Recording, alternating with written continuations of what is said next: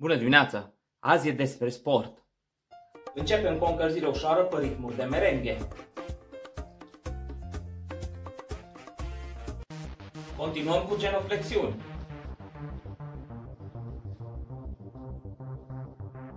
Iar la final, bineînțeles, cardio.